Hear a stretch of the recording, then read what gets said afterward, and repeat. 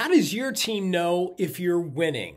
I was with a team the other day, the doctor hadn't yet arrived, and I asked the team, How do you all know if you're winning? One of the team members turned to me and said, Based on the mood of the doctor. If the doctor's happy, that means we're doing good. If the doctor's grumpy, that means we have to work harder. Well, I think we can do better than that. How does your team know if you're winning? Download the free ebook, The Four Characteristics of a Winning Team, and make sure that you have all four characteristics built into your winning team, including how you know if you're winning. The four characteristics of a winning team is just one more way to take your team to the top.